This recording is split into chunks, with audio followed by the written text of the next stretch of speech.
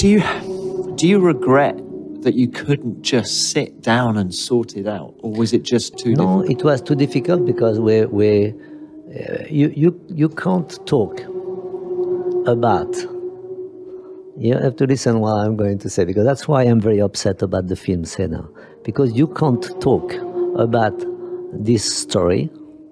That means our story when we were racing all together, together, without understanding what happened after I retired all the discussion we had together with Ayrton during the winter before his accident.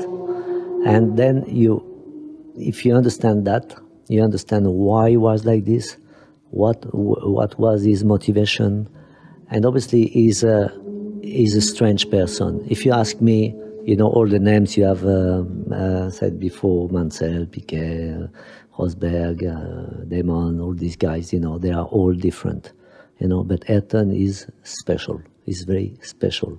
So you cannot, I am very, I'd say, Cartesian, you know, uh, so it's very, very easy to, to read, you know, what I think, what I say, and uh, Ayrton is different. So you cannot, you cannot judge, you cannot sit and, and talk.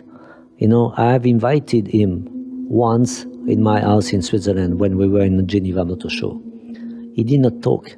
He did not say one word. You know, he was sleeping in in a, in a canapé after after lunch, and uh, I went to, to the Geneva Motor Show and I talked to the Honda guy. He was a friend of mine. I said I, I explained to him what happened. He said, "No, no, uh, don't worry." He told me that he has done that. I said, "Yeah, why?" Because he did not want to talk to you because he does not want to become a friend he has to fight against yourself. He doesn't want to become a friend, doesn't want to become close. It is very difficult when you have this kind of, but you understand everything, but you understand after. You always understand after in, in life, you know? And it's, uh, that's why I don't regret. He was like this, I was like this. We had a different personality, different culture, different education, uh, different way of uh, driving, different way of set up, set up the car, whatever. We were all different. But that is that is part of our success. That's why. So, so that winter before he died, when you said you had lots of conversations, do you feel?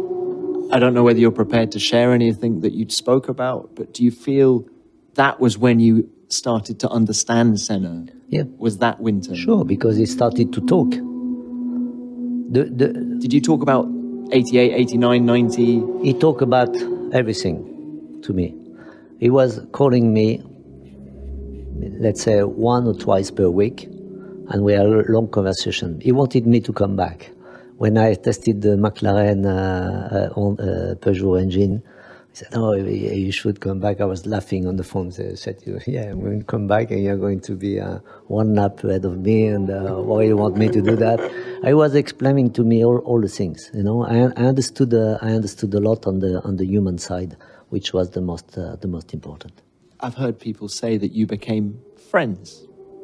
Is, I- is that true? I, I, I- I don't know if you can if you can say friends, but when when a guy like him changed completely his mind, when we were on the podium in Adelaide, you know, when we were together on the first match of podium, we had pictures, and then we went to the press conference. He changed completely the way he, he was with, with me. And from this day, I mean, a few days later, he called me. He was the first one to call me, and then he kept going during the winter.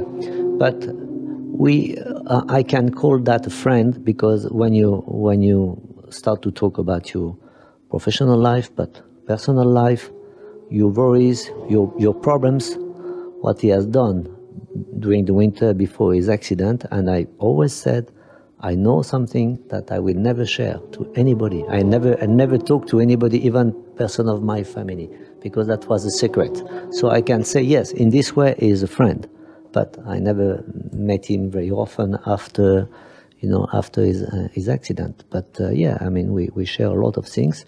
He, was not very happy about his life. Uh, I mean, even even at uh, inside his team, and uh, he was worried about uh, you know the the, the Benetton not being uh, uh, conform correct, and uh, about safety. That before he was not talking very much about safety, but yeah, he had he had a lot of things that. He, he became a, a sort of a, not weak, but a, a different person. He was Without you. Yeah, because he said to me, I cannot be motivated by these guys. He was telling me some names. I cannot be motivated by these guys. And then I have, uh, he had a lot of, uh, all, the, what was his strength before was really like a sort of weakness, but he was still quick, still uh, good, no problem about that, but he was completely different. Do you think he enjoyed Formula One, or was it the whole process for him was just too intense? I think the whole process was too intense because he wanted to to beat me. His first motivation was I was the target. I was talking to you before about the target, you know, in life.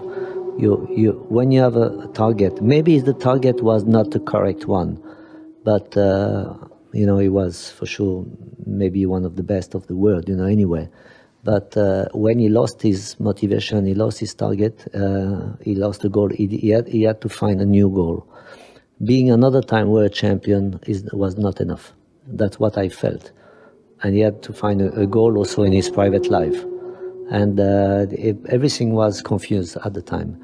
He, he went from a McLaren family to a Williams environment, which is not the same, not easy, especially also for a South American guy. And uh, everything was, uh, you know, almost uh, changed his, uh, his mind and his life during, the, during one winter. Did he ever talk to you about retirement or Retirement? for him to retire? No, no, no, we did not talk, uh, did not talk about that.